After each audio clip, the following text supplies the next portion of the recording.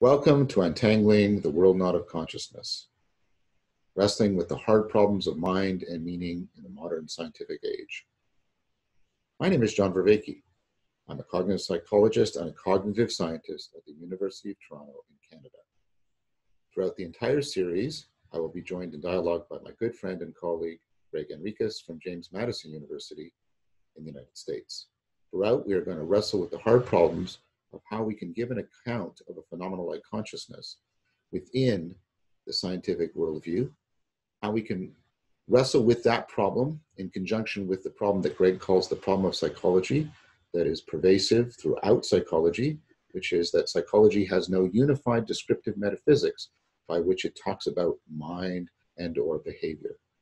Throughout this, we will be talking about some of the most important philosophical, cognitive scientific, and neuroscientific accounts of consciousness. So I hope you'll join us throughout. And we're going to move into another stage of the argument and start to consider some actual current theories about the nature of consciousness. So welcome, Greg. As always, it's a pleasure to have you here. Thank you so much. Yeah, uh, you know, we we got to a really important point about adjectival and adverbial consciousness. I think we set up some really interesting things. Uh, I look forward to bridging into those, and I'm excited about what we got coming today. Great. So Greg uh, mentioned some of the things. Let's just do a quick review. Uh, we took a look at how Descartes uh, didn't solve, but try at least gave good, strong indication as to um, how one could begin to follow up on the intuition that the function question, what does consciousness do, and the nature question, how does consciousness fit into the furniture of the universe, because it's such a strange thing, um, how those questions could be answered in an integrated fashion. And we look, we took a look at his uh, idea uh, of pursuing a, a, a, relationship between consciousness and intelligence. And we noted that that's a very powerful intuition, and it's a very powerful intuition um, that uh, speaks on behalf of trying to answer the nature and the function questions in integrated fashion. And what we came, what Descartes proposed was that uh, animals that are intelligent without conscious consciousness have covariations. They have brain states that covariate with the world, gives them a general uh, a general capacity to um, uh, move around the world, navigate the world. We then noted that many theory, current theories of representation, in fact, are covariation theories, that uh, a mental representation is something in the head that covaries with uh, the world, or sometimes in the head and body, etc. Um, but many people note within that tradition that covariation doesn't have the specificity of reference that mental representations have, um, and that, it, Descartes seems to have been aware of this, not using those terms, but something analogous. And it looks like what consciousness does is out of all of the things that, all, out of all the aspects um, uh, of covariation, you know, object, weapon, black thing, phone, birthday gift, etc., etc., etc. Curtain. Yeah. what, what consciousness does is it aspectualizes. It picks out one of those. Uh, it picks out one of those aspects and readies it for reason, readies it for intelligent uh, behavior. We, we then noted by making use of an argument from John Searle uh, that how deeply that aspectualization and consciousness are bound, bound together. Representation presupposes aspectualization, um, and then Searle says that aspectualization presupposes consciousness. I propose to you that we could flip it around, that aspectualization presupposes relevance realization, and relevance realization could be used to explain in an integrated fashion both intelligence and consciousness via the function of aspectualization. Yep.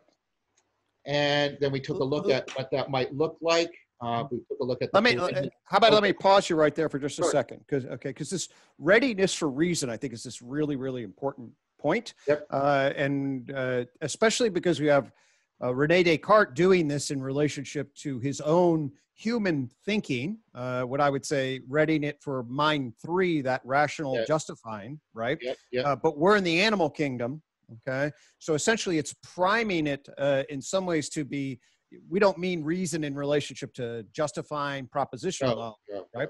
But we do mean holding it and perhaps simulating various counterfactual Yes. scenarios. Yes. Uh, and in my language, then uh, calculating various paths of behavioral investment uh, Yeah. for affordances and stressors. So now you get a cortex that actually can really start to integrate and simulate if we want to connect it to brain based uh, stuff. So we can imagine how that aspectualizing pulls in and then allows mental manipulation in a particular kind of way. Right. Good. Excellent. And so uh, we took a look at how that functionality uh, uh, might be related to our phenomenological experience. And we took a look at Michael Polanyi's work um, that is very much a case of, I would argue, how such aspectualization occurs. And we took a look at attention being something that bridges between two, two kinds of awareness, subsidiary awareness, which is awareness through, and focal awareness, which is awareness of, and that's you know that foregrounds things, the background. We, we talked about the way you know the, the the features and the Gestalt are related. So that's the whole aspectualization process. Um, and then we took a look at you know uh, the rudiments of that uh, in multiple object tracking and the basic salience tagging. Um, and the work of Zen and around this. And then we got the distinction between adjectival qualia, which tend to dominate the discussion in Mhm.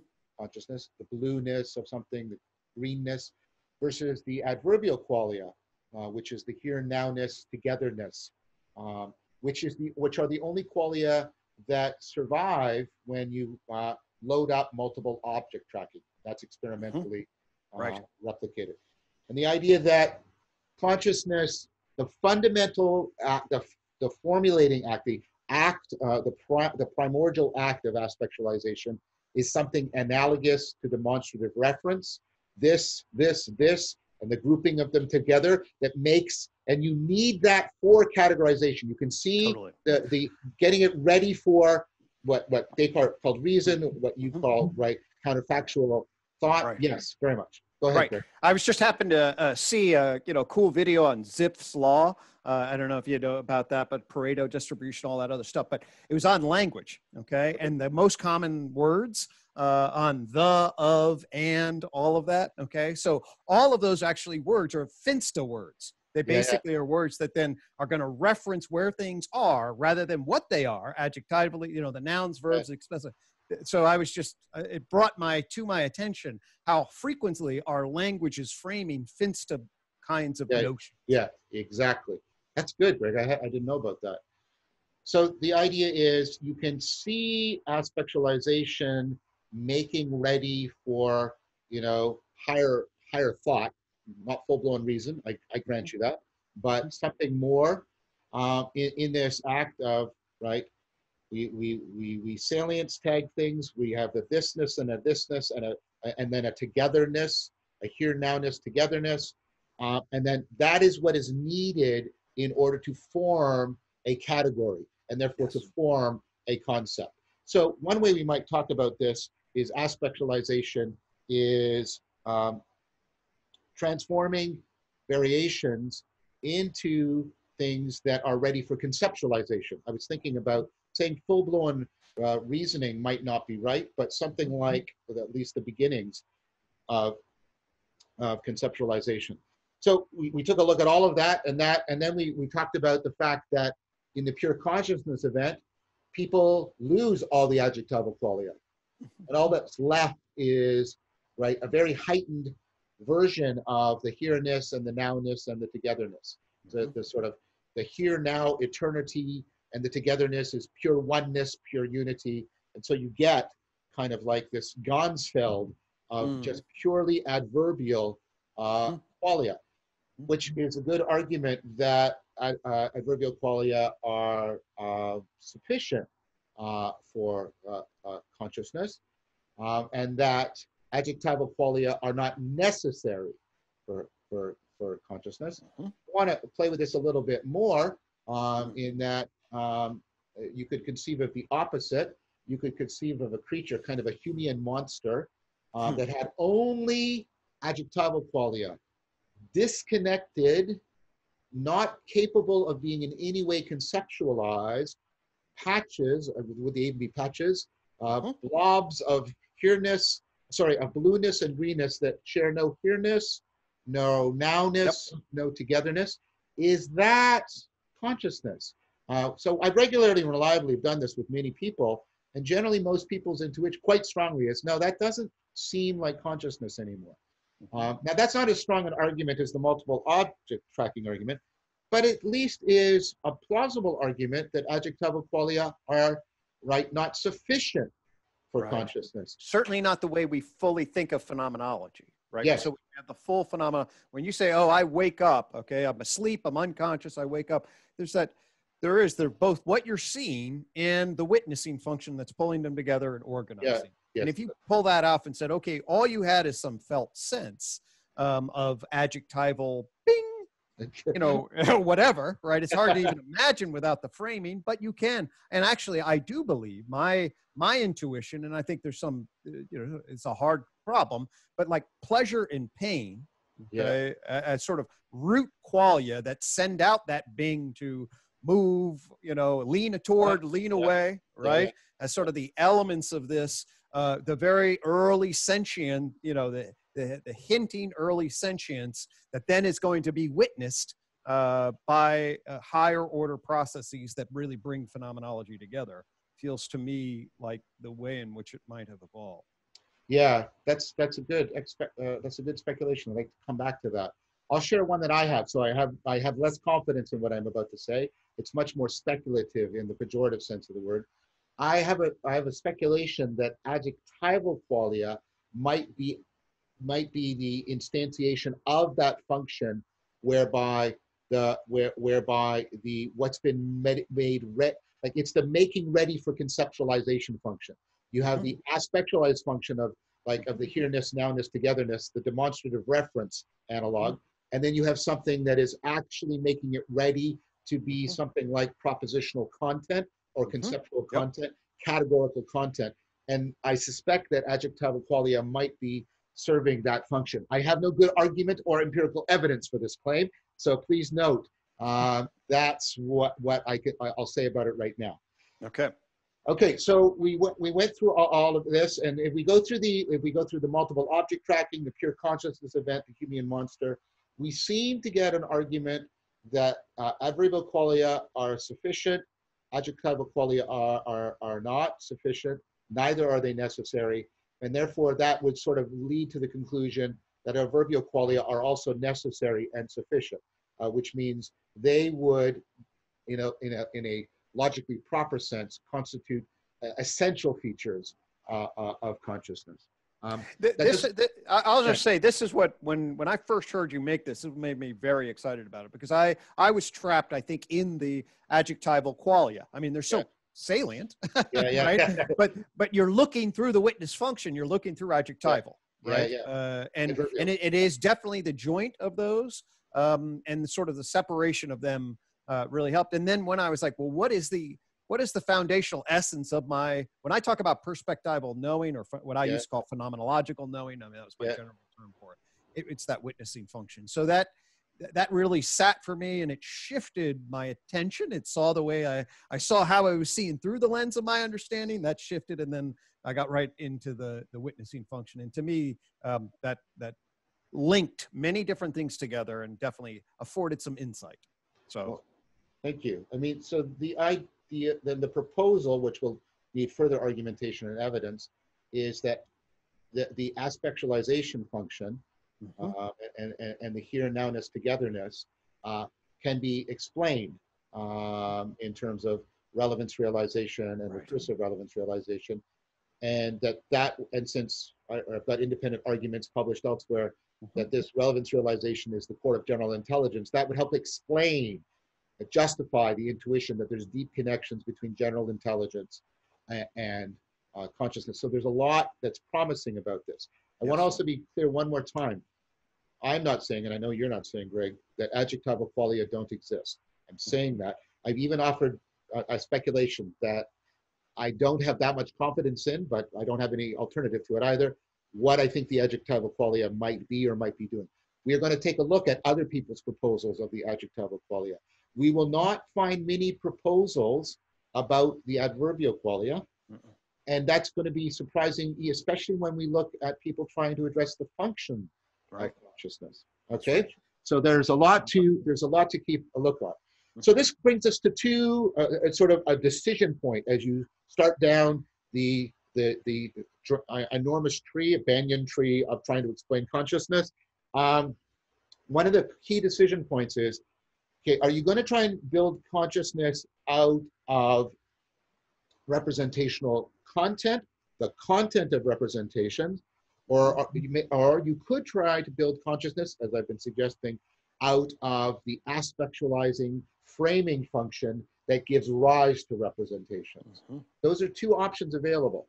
Now, uh, the one I mentioned first is uh, far and away the predominant uh, uh, way people, that's the predominant choice that people make uh, within cognitive science uh, and philosophy. First of all, I want to make clear why I think that is an intellectually respectable thing to do, while at the same time putting it into a frame that might call it into question. I want to argue that trying to understand consciousness in terms of representational content makes excellent Cartesian sense. If you're if you're in a Cartesian framework, remember we talked about how the mind is basically reduced to its representational function, um, and consciousness is going to somehow therefore be a function of representation. The mind is a purely epistemic engine. It's all just about truth, and con and, con truth attaches to the content of our representations. And then you'd say, okay, and then Descartes, you know, consciousness, we talked about this, is where the mind touches itself. It's all that's left of conformity. Well, how do representations touch each other? Sorry for sounding graphic. Uh, well, what, well, the idea is one representation takes another representation as its content. So I can have meta representations. I can have recursive representation. I can have a representation about a representation. And in fact, most of our representations are representations of representations, right? Um, so the idea that many people have is you'll build consciousness out of this meta representational or this recursive, depending on whether you want to talk about it structurally or dynamically, right? This recursive meta representational function. Now you, you're going to fit, and, and it, this seems so intuitive because consciousness feels like it's like it's always consciousness of some states that are representational in nature. So it's a lot of intuitive plausibility. It makes terrific sense within the Cartesian framework of the mind. We've noted though that, and then and that Cartesian framework is massively legitimized by how it is insinuated seamlessly uh, with the scientific worldview. And we've already given that argument at length. So what Greg and I also explored though is that framework, the Cartesian framework is tremendously problematic. It has, it gives you the mind, brain, mind, body problem. It ramifies through the problem of psychology. It, right? So mm-hmm. our attempts to even get a science of the mind going are undermined by it. All kind, so it's very problematic. So on what, so I'm trying to be very fair to people here, right? I respect, it makes good sense that within the Cartesian framework, you would try to build consciousness out of meta representations. Mm-hmm. But we should also be suspicious of that. It's, it's plausible, it's intellectually respectable, but the suspicion of it should also be in our mind because that whole framework is in some way causing us a lot of deep and profound problems about the nature of mind and the nature of ourselves within the scientific worldview. So how, do, how is that okay? That Uh, sounds right on, right on part target with me. So yes, let, let's let's get into that. That sounds good. So I want to, so we do not have the time, uh, or, or I think between, even between us, the relevant expertise to cover every single version of this theory that's been promoted. So what I have chosen to do is to pick one version of this theory that is seminal in that it has influenced many, it's, it's, it's still, it is intellectually respectable in its own right, and it's seminal also in the sense that it inseminates many other uh, theories uh, about consciousness. And this is Rosenthal's theory, which is known as the higher order thought, right? Or uh, theory, well, or hot theory. So it's got a sexy name. right. Yeah. um, I want it- hot theory. Yeah. uh, so the, the, there's sort of four conditions to this theory Um, the first three are unproblematic uh, because it's the fourth that is dealing with the problem I've mentioned. Okay. Uh, so, sorry, the problem I'm going to bring up right away. So before I get into Rosenthal's theory, what's the basic problem for any meta-representational theory of consciousness? Now, this is a problem not faced by Descartes, but it's faced by all of us because we have the idea that a lot of processing, and we discussed this last week with Searle, sorry, last time with Searle, a lot of processing is unconscious cognitive processing, and that's presupposed through most of cognitive psychology yep. and cognitive science.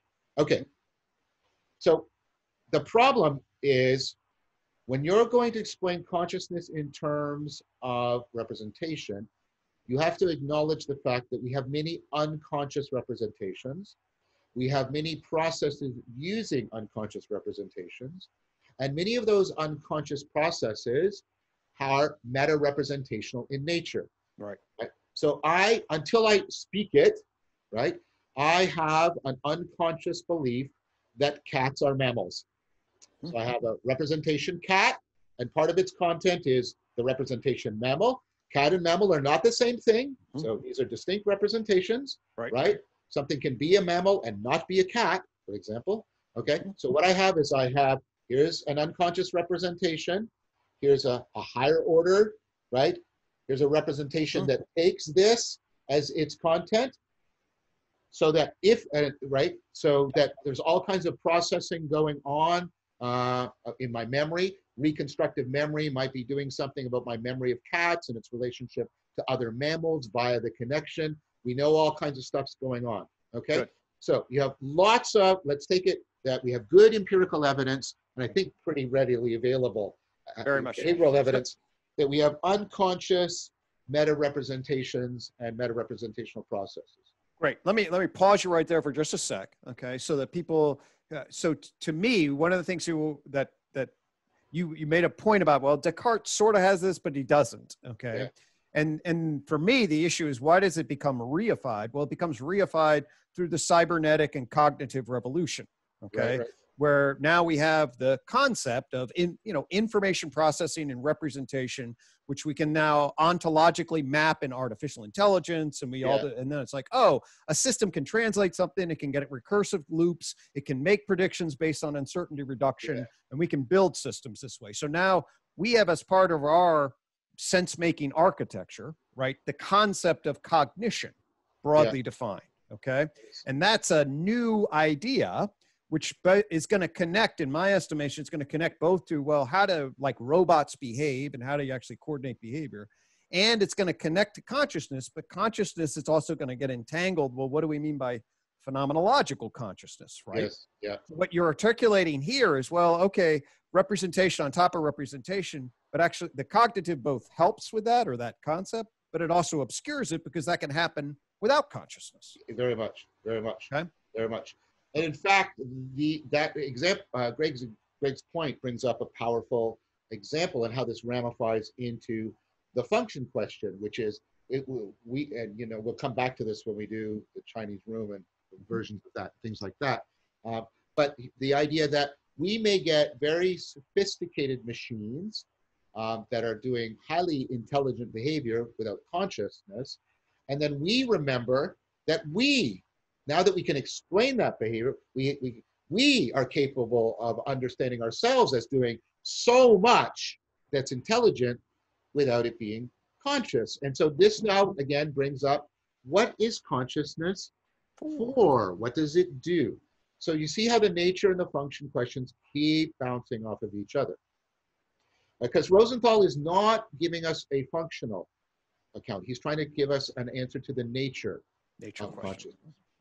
Okay, so let so the issue is how do you turn unconscious representations into into conscious representations? And and somebody might be saying that sounds like Descartes' problem of covariations into representations. I think there's similarity there, and we'll come back to that. So that's a good thought. But let's come back to Rosenthal's line.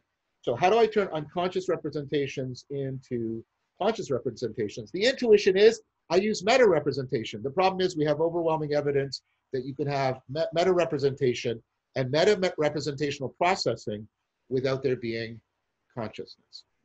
So, what does Rosenthal say? Okay, so let's do it. So the idea is, the first condition is, I'm in some, I'm in some, I have some unconscious representational state. Let's call that A. Here it is here, represented by my right fist.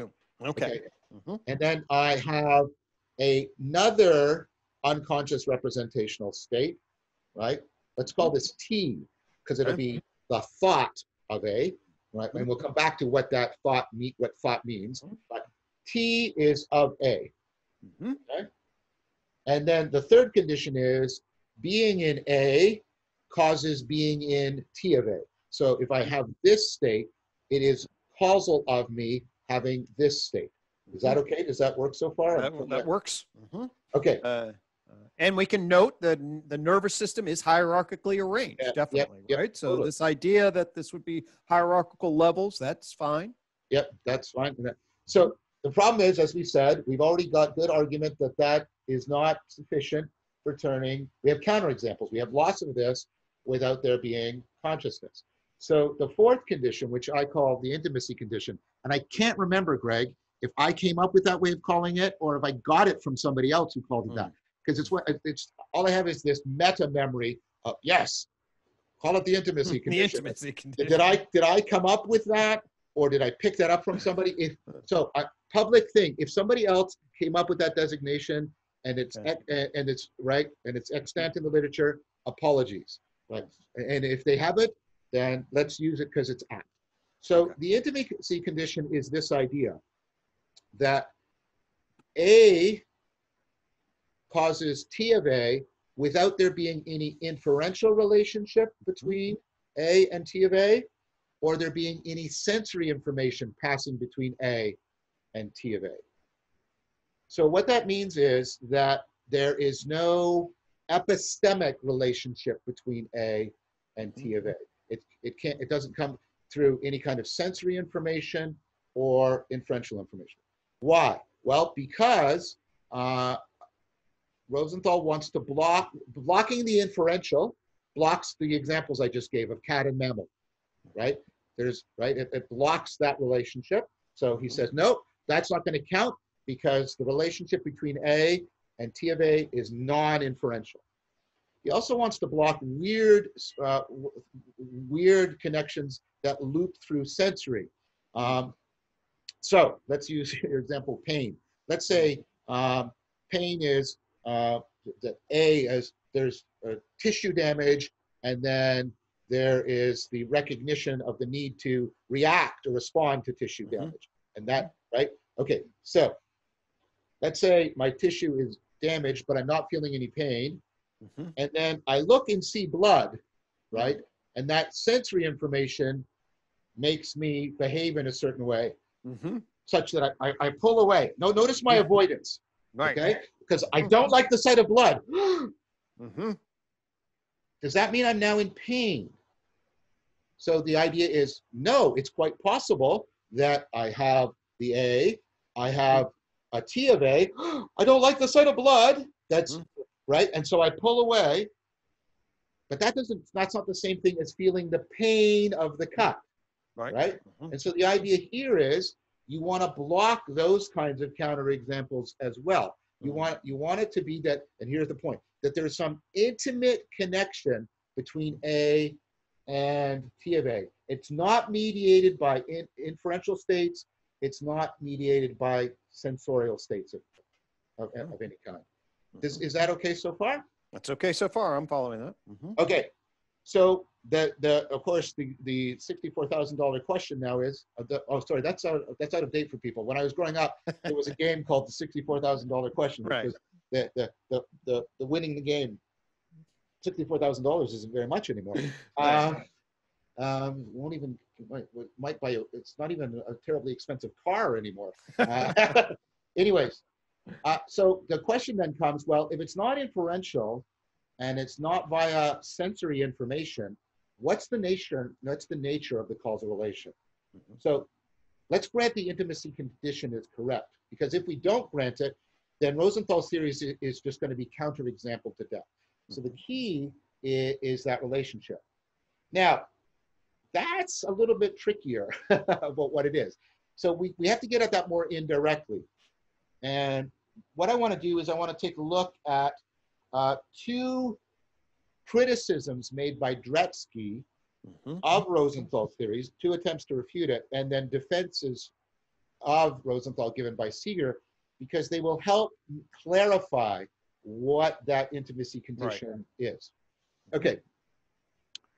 So Rose, uh, Dretske uses the example of pain, but p- pain is somewhat problematic for people um, in terms, uh, I don't mean that it exists or that it's qualia. I mean uh, of people's ability to sort of parse it phenomenologically. Um, Mhm, so mhm. I use this example, which is generally better for people. Okay. Um, so I'm going to slightly modify, this is just a pedagogical move. There's nothing Mhm. substantial to it. Um, I'm just going to slightly modify Dretske's example and bring it up.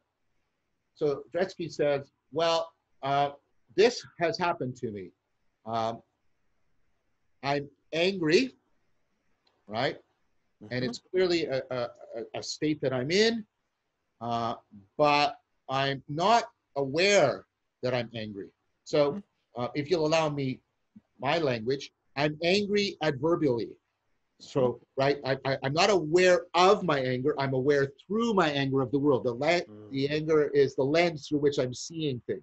It's Mhm. coloring things in a certain way. You seem particularly threatening to me, Mhm. right, etc. Right. Right, right, you know, you know, you're hyper salient. There's like, you know, I'm getting aroused for fighting you and all Yep. that sort, all that sort of stuff. But if you were to ask me at that moment, until, or perhaps until you ask me, are you angry? I don't, and I'm sure you encounter this in therapy all the time, right? That must, that must happen all the time to you. Absolutely.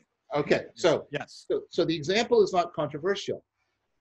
And then Dretske says, well, look what we have here, right? Uh, the- you know, we have A, but we don't have T of A. The person's angry, but they're not aware that they're angry, and yet they're still conscious. That uh, that anger is still a conscious state. Mhm. Okay. Now, first of all, notice what's happening here. Notice how this is, and, and how, how I could helpfully explain Dretske by shifting over to the adverbial and mm-hmm. looking th- awareness through, not just awareness of. So Okay. the language we've introduced is already helpful for mm-hmm. explicating Dretske's point. But Right. Seager comes back and says, no, no, no, that's a mistake. That's a deep mistake. Okay, and, and it's, it's, it's really interesting, Greg, how often in, when I'm teaching this argument, people make this mistake, even after I've taught them the mistake. Mm, Okay. Right. Mhm. So A is unconscious in, Dretz, in, in Rosenthal's Mm. model, and so is T of A, right? Right. Mhm. Dretske is identifying T of A with the introspective awareness of A, Mhm. right? So, and that's right. That's not. We got to go really slowly here. That's not what Right. Rosenthal's saying. For Right. Rosenthal, both A and T of A are unconscious. It's Mhm. only in the intimacy condition that the joint, the composite of the two, achieves consciousness. Mhm. Now, so T of A is not your introspective awareness of your mental states. Right. So a way of putting that that might make it easier for people to grasp, and this is the distinction that is important, there's a big difference between being conscious and being self-conscious. Right. There's uh, one more clarification. There's two meanings of self-conscious. One is Mhm. consciousness of yourself, and one is reflective, co- reflexive consciousness. I Mhm. mean the latter, not the former. We'll talk about the former later on. Okay. Mhm. So there's a difference between me being angry and me and me being aware that I'm angry, between being conscious and being self-conscious. In introspection, introspection is the function which by which I become self-conscious of my conscious states. Is that is that okay? Right. And so, yeah, I'll just jump. This is in my language system, we're talking about, uh, you want to layer this up mind one, which is the neurocognitive functionalism. Okay. Right. And then into mind two, which is going to be, I think, A onto T, but that's different from mind three. Okay. Right. Which is the self conscious, recursive, introspecting awareness that can report on all of that process. Exactly, exactly right. Uh, you inverted it, by the way. It's T of A, not A on T, but that's fine. Right.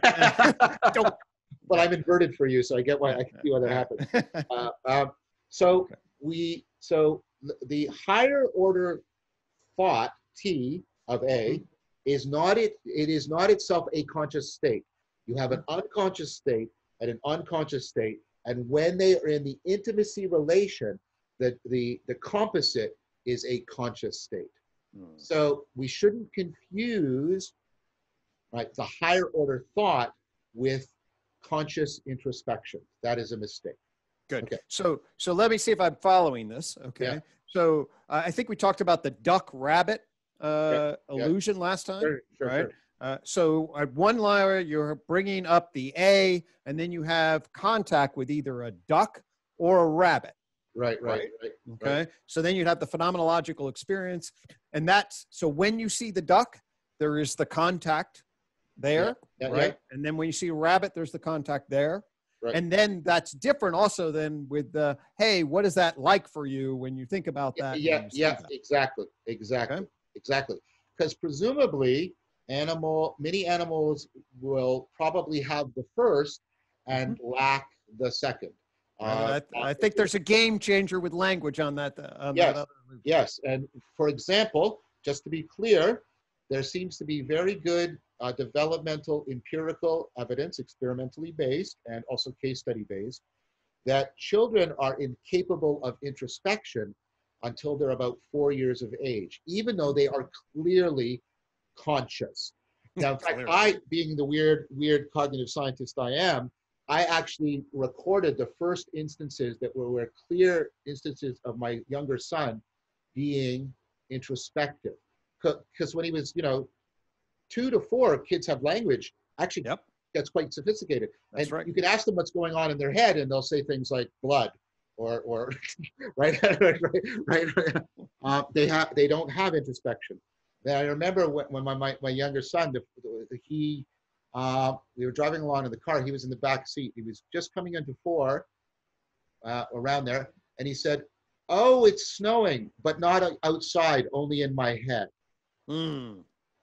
right? And then there was another one when he came up to me and he said, I have a reverse camera in my head. And I'm thinking, what? What does that mean? And he said, and, and, and, and I, I asked him, he was getting, the- and this, we know that this also takes language. He was getting auto, auto-noetic memory. He was capable of time travel. He was capable of reversing and going back into the past.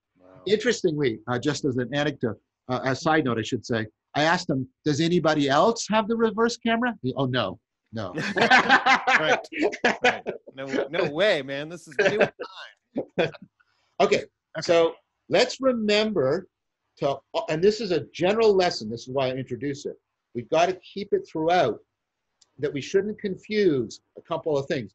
We shouldn't confuse focal awareness with subsidiary awareness. We mm-hmm. shouldn't confuse consciousness with introspective self-consciousness. We Right. have to keep Yep. these all distinct. Right. And people So- slam these all together. No, absolutely. That's why. That's why mind three, self-conscious Yeah. introspection, is so different than mind two. And if we don't have the right language systems, you, you know, then you would say no, animals aren't conscious. Well, if you mean they're not great at self-conscious retrospection and self-report, yeah. yeah, yeah. but do they feel pain and have uh, Yeah. A to T experiences? You know. Yep, that's right. That's right. Okay. So I think that's very, very useful. Um, uh, just again, so clarifying, clarifying, clarifying. But notice what we're doing is all of these, um, this, all these explications of distinctions, all these distinctions are each time we do this, we are gaining the an increase in clarity because we are reliably and systematically reducing the potential for equivocation. This is not niggling. We have to do this correctly or we will get it, we will get it wrong, right? We'll get it wrong. Okay, now the second argument by Dretske against Rosenthal is a little bit more uh, interesting in terms of, it tells us more about what that intimacy condition might be. Mm. So uh, Dretske says, okay, well, if you're doing this T of A, what what that means is that all consciousness is consciousness as. It's all when you and you we've already did this. You did uh, Wittgenstein's uh, duck rabbit. All seeing is seeing as, seeing it as a duck or seeing it as a rabbit. All consciousness is consciousness as, which of course is guess what? aspectualization. So aspectualization, bang, back on the table again, without being properly explicated, Mhm. without being foreground, without the discussion of adverbial qualia or all of this, but it's here. It's going to take a central role. And then Dretske says, okay, so if Rosenthal is right, then, right, every conscious state is going to be aspectualized. And then he argues and says, but there doesn't seem to be any aspect that's necessary to in any state of consciousness. And so, so let's use, I could, I could be conscious of it as a duck, as a mm-hmm. rabbit, as a black and white blob, as a smear, as the thing that Greg often refers to, right? no one, so, and then Dretske says, but look, none of these aspects are necessary. And then he concludes, so aspectualization is not necessary. And since Rosenthal is committed to aspectualization, I have thereby refuted his theory. And Seager points out that's a modal fallacy. Mm-hmm. The fact that no one particular aspect is necessary, that you cannot conclude from that that no aspect is necessary. Let me give you an example. Okay, I'm, ta- I'm talking about bodies, not matter, bodies. Okay, is everybody clear about that? So every body I encounter has a shape. But is any particular shape necessary to being a body? Like, do you have to be a rectangle hmm. to be a body?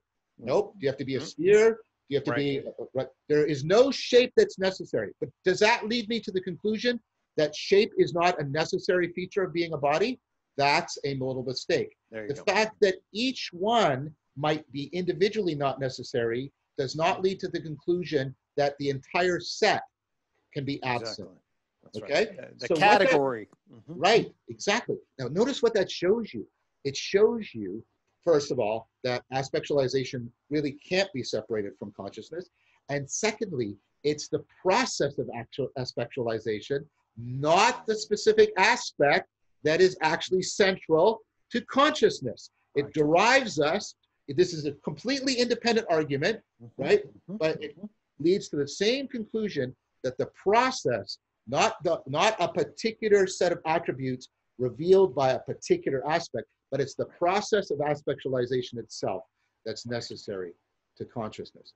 Right. Now, Mhm. what I want to suggest to you is that we should consider the aspectualization process as exactly the intimacy relation that is Mhm. needed.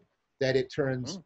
right unconscious covariations right Mhm. into things ready to be mapped into potentially unconscious concepts the way we've been talking about and that is the process that is the intimacy intimacy condition Mhm. of consciousness why would i make that argument well first of all we've already it's independently motivated it's independently motivated by how aspectualization has come to the fore Mhm. Mhm. but it's also going to be motivated by a second argument, which is, well, let's take a look at, uh, while always keeping the intimacy condition clearly in hand, let's take a look at higher order thought th- theory. What is a thought? I mean, it's, it's a really vague term. It's an equivocal term. Mhm. Mhm. So one thing that you might try is that higher order thoughts are beliefs Mm. higher order thoughts are beliefs. So what T is of A is T is a belief about A. So I'm in some particular state, and then I get a belief about that state, and the belief about that state. Um, and what, one of the advantages of that is belief is different from just conceptual relationship. Mhm. Um, so that might give you um, a little bit of wiggle room. The problem with that, if of course, is we have unconscious beliefs about our beliefs. We already have that, and they remain Right. unconscious. Uh, so, and this points to a, a lot of the differences between belief and consciousness. Um, our beliefs don't seem to be processes that occur. They seem to be dispositions to behave. This is a classic argument made by Gilbert Ryle. Yep. Uh, so until I spoke it, I I I, I, I still believe it, but until I spoke it, I, right, it was in no way um, conscious to me. I believe that Africa is a continent. Now, I've had that belief all day, But that doesn't mean I've been thinking it all day in the sense of Africa's a continent, Africa's a continent, Africa's a continent, or doing like sorting things into continents and putting Africa into the like I've just I've been doing nothing with Africa and continents all day, right? And yet nevertheless I have the belief. So what is it to have the belief? Well, I mean it's a very problematic notion, but it seems like it's like if I have to categorize continents, I will put Africa into the category. If you ask me this question, I'll answer yeah, right? And so beliefs aren't occurrent, they're not happenings, right. they're conditional relations. But whatever the hell consciousness is, it is occurring. It is a, an occurrent thing, right? Yes, absolutely.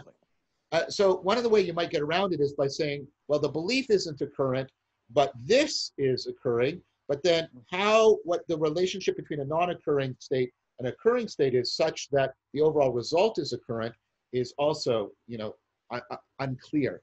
Mm-hmm. But you seem to be able to direct your consciousness in a way that you can't direct your beliefs. Uh, there's a voluntary aspect of consciousness, and I'm, I'm, I do not need to uh, belabel this with argument because there's a long-standing tradition of a deep association between consciousness and free will. I'm not arguing for free will. I'm not mm-hmm. claiming it exists. All I'm pointing to is there's something about consciousness that leads people to believe consciousness is a self-moving, free thing. Your beliefs don't function that way. Mm-hmm. Um, you, you, belief is not something you do. Uh, pick a belief you'd like to have. I, uh, I would like I would like to have the belief, which and to believe something is to believe that it's true, right? Mm-hmm. I would I would like to have the belief that everybody loves me. Mm. Okay. okay. Let, let's do it. Let's do it now. I'm gonna I'm gonna I'm gonna start believing it. Uh, I can say it to myself. Everybody loves me, but I don't believe it, right? Uh, I can imagine it. I can imagine all the people in the world. We love you, John. But I can imagine. I could desire it. I could fear it. I can hope it. But none of those things are the same thing as believing it. Belief doesn't work that way. I, I, in fact, I'm always, I'm always unclear what is supposed to happen when televangelists ask me to believe. Mm. Like believe, and mm-hmm. I, I, I feel I, I, I sort of clench it's sort of like mental constipation. I sort of clench. What, right. what am I doing? What, like, I don't know what I'm mm-hmm. supposed to be doing, right? right? And what, what they're basically saying is stop criticizing, stop reflecting.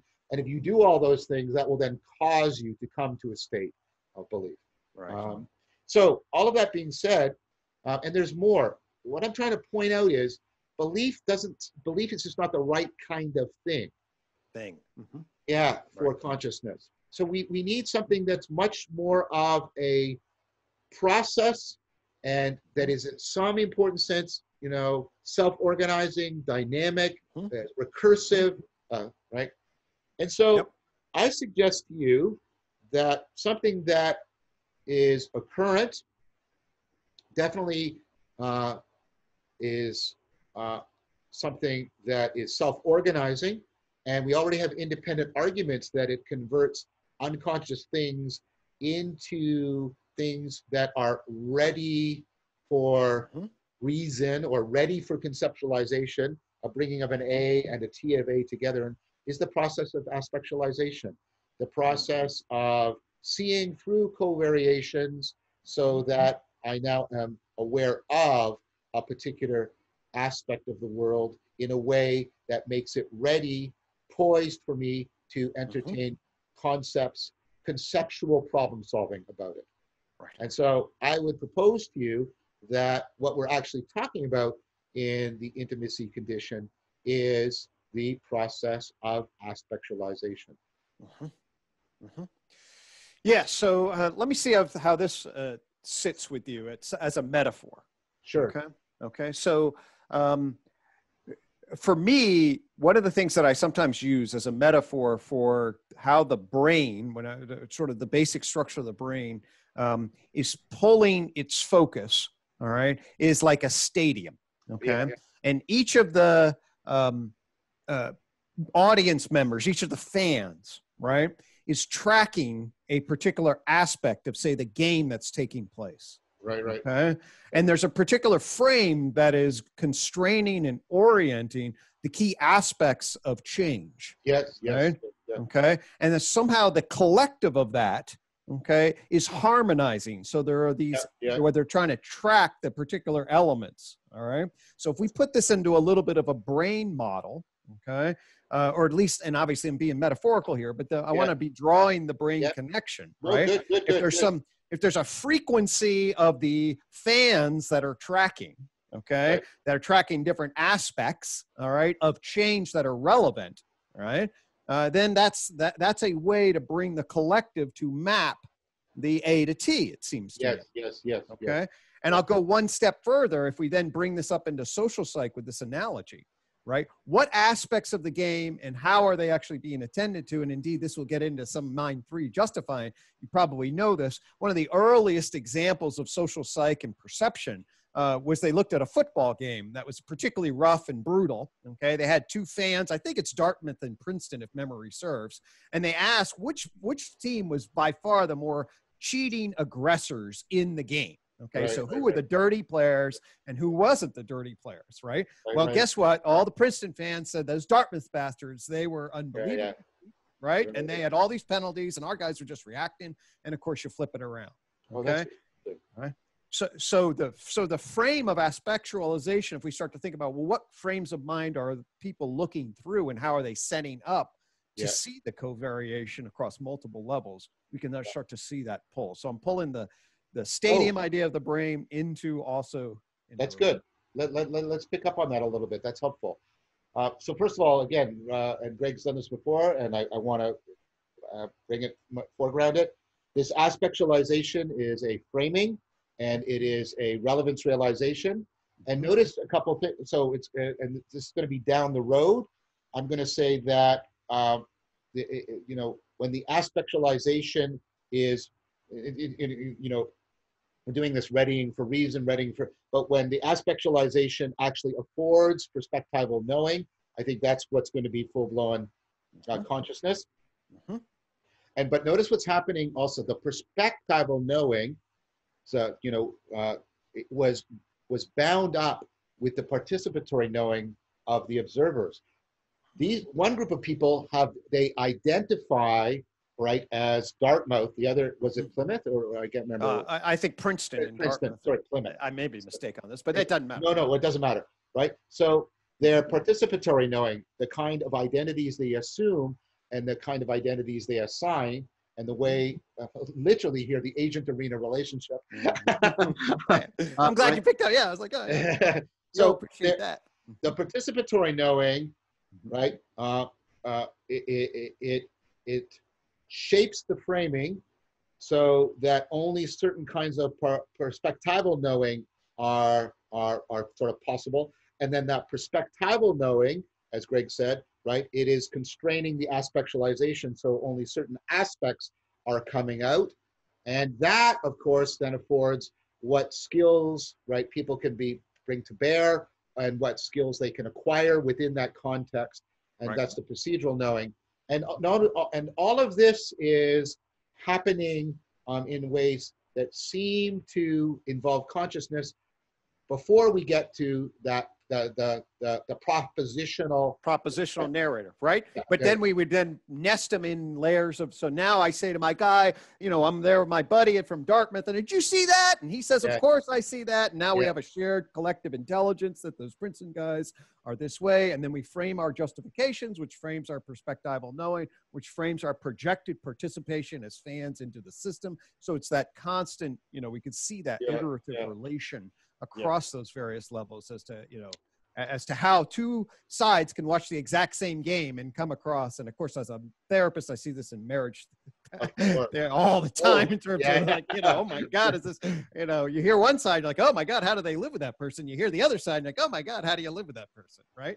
Um, so it's, uh, so just the nested layers of, of this aspectualizing uh, across these domains is a, is a very, I think it's a very, very powerful thing to understand the dynamic participatory relations that we are engaged in. I, I think that's fantastic. Um, and one of the ways, of course, you show the value of a scientific theory is not only its empirical adequacy, how can it explain the consensus evidence and data, uh, you also, right, you, uh, uh, one, something that argues for a theory, I'm not claiming this is a full-blown scientific theory, but we're working towards it, is the degree to which it is fruitful, the degree to which it bring, make makes things clear that were not clear before, brings in new phenomena that could now be considered relevant evidence for the discussion of consciousness uh, that might, uh, you know, it's less likely without this language that we would consider things happening in therapy as particularly relevant to understanding the nature and function of consciousness. But this language allows us to bridge, allows us to see things happening um, within the therapeutic context as well.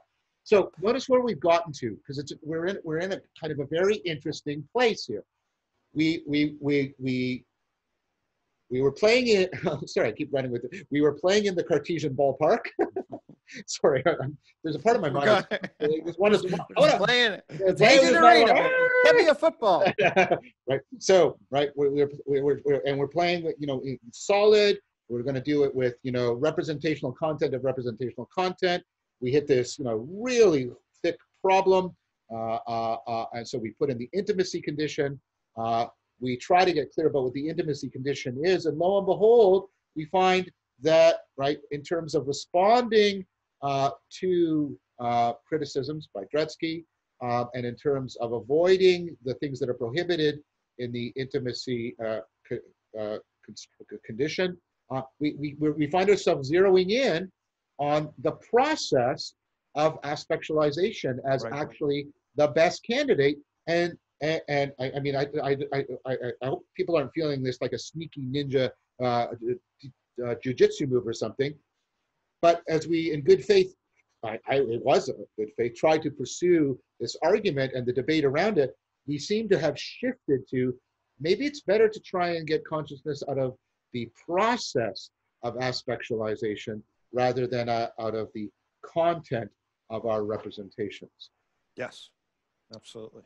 And okay. I think that what, and, and, I'll just say also, I'm a, I, my, you know, there are different models of truth, of course. There, there's foundationalism, there's correspondence, there's coherence. Um, whatever my genetic system got lined up, coherence is certainly something I find myself enormously right. interested in. And so for me, when I get really excited, when I take something it coheres with a lot and it applies into these different domains it, it, and it feels does so in a way that's most parsimonious and yeah. starts to create you know symphonic harmony between different domains that that is and so that's one of the reasons i like this so much is because that's what happened to me as i listened to this through i could then apply it network stuff together across a wide variety of generalisms so for me that truth criterion is a particularly important one so Thank you for saying that, Greg. That's helpful. I, I also want to uh, return the favor and point out that Greg did something uh, very, very smart uh, because the analogy is also a seed analogy.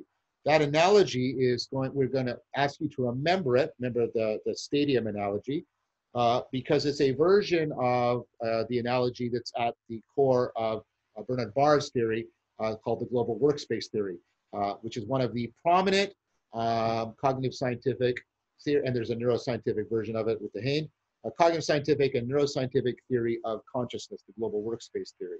Um, and it is a theory that is, uh, just to foreshadow, it's a theory that is trying to answer the function, um, the function question, and it explicitly argues that the function of consciousness is relevance realization. So again, that's a convergent argument that we're going to be reaching towards the relevance right. realization. It also is crucial in linking to working memory, which is crucial yes. in intelligence and problem solving. And consciousness.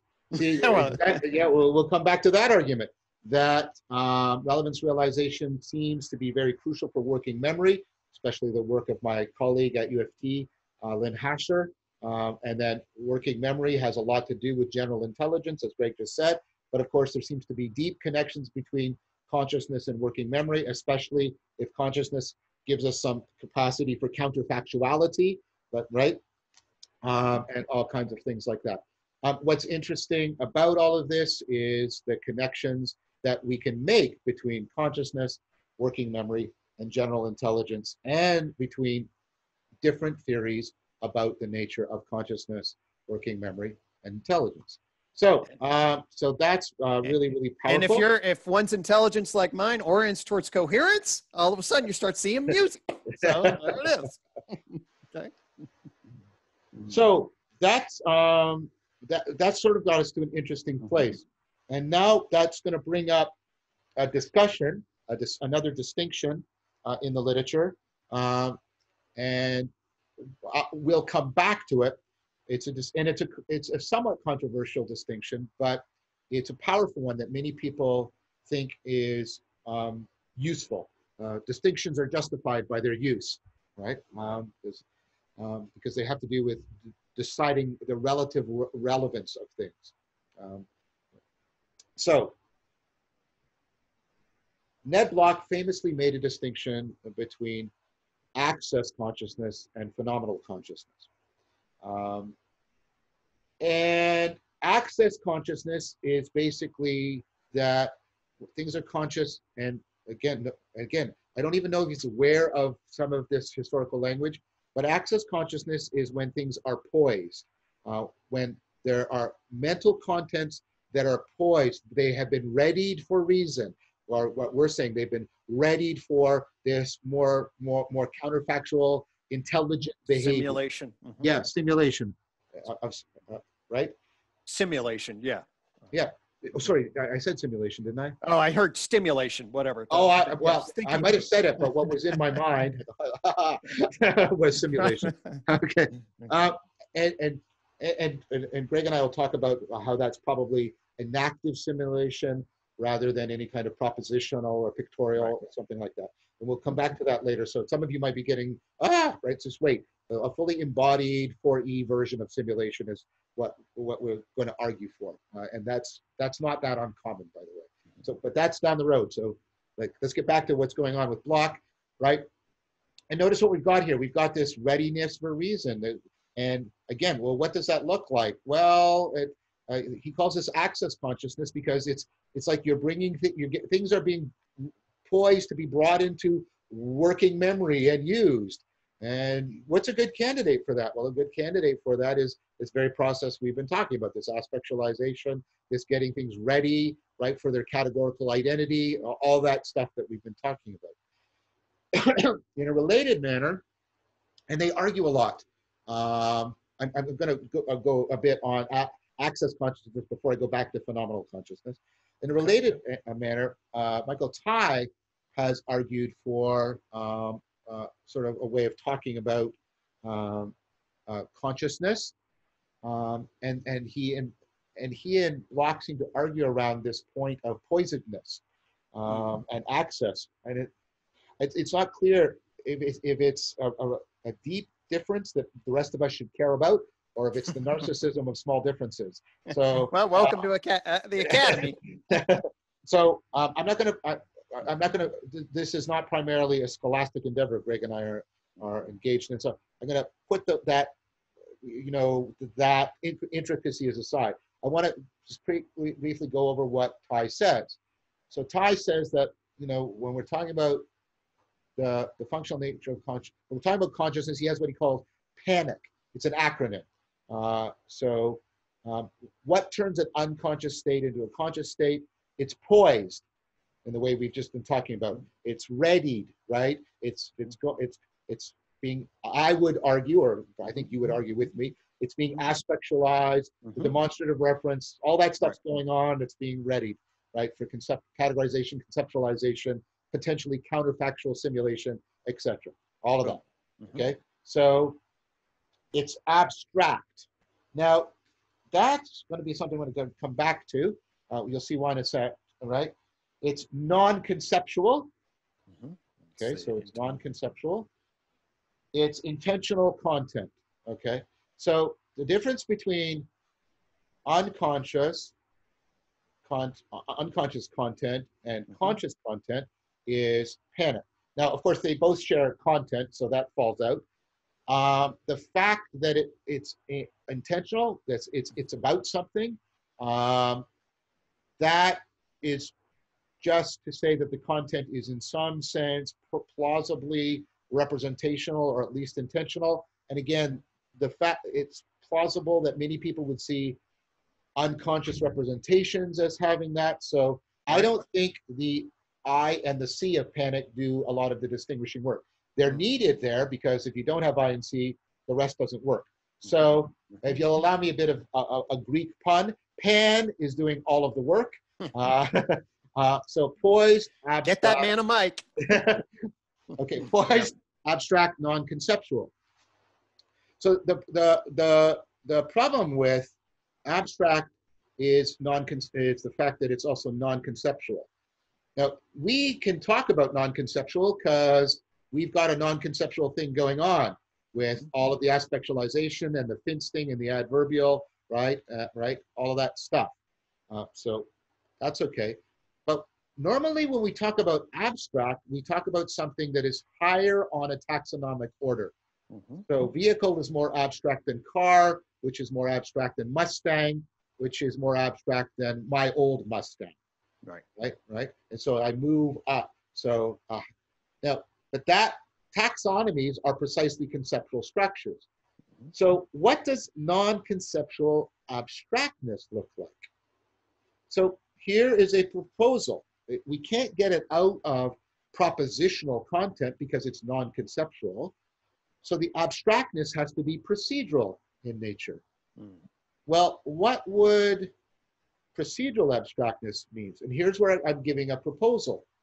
I think procedural abstractness is generalizability. Mm. The degree to which I can apply a procedure across mm. a, a, wider diversity of context is the degree to which it is procedurally abstract. Okay. Mm-hmm. And so what we need is a kind of poisedness that is that kind of generalized procedure. And what seems to be the mo- one of the most domain general procedures of consciousness? Well aspectualization. Hmm. Aspectualization. Hmm. No matter where we go if i'm going to do any particular representational content I hmm. first have to do the aspectualization that will get me into the place in which mm-hmm. the conceptualization can then occur. Mm-hmm. So I think that access consciousness, like just again making a convergent argument mm-hmm. from Block and from Tye, can be understood again in this very general process, which I think is an instantiation of the what I think is one of the most procedurally general things we have, which is our, our capacity for relevance realization. Mm-hmm. mm-hmm. Right, right. So what I'm giving is a convergent argument that access consciousness is basically doing this aspectualization function, this higher order relevance realization. Mm-hmm. What I'm going to argue, in fact, is aspectualization is basically, and we already did it with the the salience tagging. Um, relevance is becoming salience, where salience is relevance to either, if you want to talk structurally, mm-hmm. relevance to working memory, or if you want to talk functionally, it's uh, relevance, right, to its relevance within perspectival knowing. Yep. Right? Mm-hmm. So we're going to come back to all of that. So. Uh, and I'll say also, oh, for, for, so from a behavioral investment, so all, I'm always, so I'm embedding this in the whole organism. That's why I love 4E yeah. cognition, right? Um, and why I love relevance realization is because what does the organism need to do to invest? It needs to know what is uh, and what it might be able to create, to make, to yeah. be, right? Yeah. Yeah. Uh, so it is in the process all the way through of like, okay, where am I, and what might be possible as I invest, and so right. that that dual-sided element of realization that you have yeah, embedded yeah yeah yeah right is like okay i got to tech what is and then what i what can i realize with it and that goes so deep into the structure right and, and both of those stages hit the problem of combinatorial explosion mm-hmm. but it they is, frame they can frame yeah. and constrain uh, yeah. and and allow all the way down through the scale in a fractal sort of way as far as i'm concerned. yeah exactly exactly exactly so I mean, I have a lot more on this, but mm-hmm. uh, uh, what I've tried to do is make plausible the idea that perhaps we should try and build consciousness, at least access consciousness, uh, out of aspectualization. Now, what about phenomenal consciousness? Well, phenomenal consciousness is the home of the adjectival qualia, mm-hmm. uh, right? Um, and if there's controversy about what it is and what it might be. Ned Block has what he calls sort of a, me- a, a mental paint uh, analogy. It's sort of the, a, a mental paint that uh, attaches to things, and it's irreducible uh, to conceptual content. It's irreducible to functionality. Um, uh, like I said, it's if that mapping is correct, that sounds like adjectival qualia to me. Yep. And that means that it's not clear that it's necessary or sufficient for consciousness. I also worry on the other end of making it completely non-functional makes it epiphenomenal. Yep. Which so, is going to be very problematic. Right. So that's why I like to, I do like this kind of idea a little bit. Uh, the, and then I love, saw the access blocks uh, yeah. distinction here. So uh, if we go back to what, you know, my intuition at least is, is that pleasure and pain are flashes of paint across yeah. the nervous system. Ah, yeah, yeah, okay? yeah, yeah. Uh, that then that then try to orient the whole brain approach avoid, and that's and so that's the early, you know, and then you know then it spreads off of there, and then you're getting this access conscious witnessing system. That's good, Greg. Let, let, can we let's we got a couple minutes. Let's play with that. Uh, okay. I mean, mm-hmm. so we should we should try and do a little bit of dialogos in the midst of all of this, right? um, so let me play with that a little bit. So I mean, of course, pain and pleasure are salients or salience mm-hmm. taggers, but your point is they're not just salience taggers. Things can be salient without being painful or mm-hmm. pleasurable. So I agree with you there. But there, but it's interesting because pain and pleasure, right, are are are less distinct, uh, which is your point. They're they're they're procedurally abstract in the way we've been talking about. They generalize across many domains in a way that red and even red and greenness won't generalize. And so maybe are, are, are they part of an initial procedural categorization like approach avoid which, exactly. right right there, and so right. wow it's neat because then it's getting really right at the level between sort of salience and yep. the, the sort if you'll allow me sort of uh, proto uh, uh, adjectival qualia right yes it's right it's, it's exactly right in that right. grade area right is, is, that, is, that what, is that what you're is that what you're suggesting 100% so right these are yeah. nature signals oh. to approach and avoid they're uh-huh. nature signals to approach and avoid. So, so, and then th- that then basically is a sort of like, so for me, what, the, eh, what I call the pleasure pain parallel fitness principle. Okay. Yeah. So at a, there's a positive and negative correlation of energy investment associated with survival and reproductive success. Sure. Sure. You know? And then you get embedded in that as the capacity for behavioral investment repertoires get more and more sophisticated, and more and more flexible. It goes from fixed action patterns and reflexive withdrawal systems right to go- coordinated guidance towards particular outcomes that are much more flexible and then feed back on your consequences. Okay.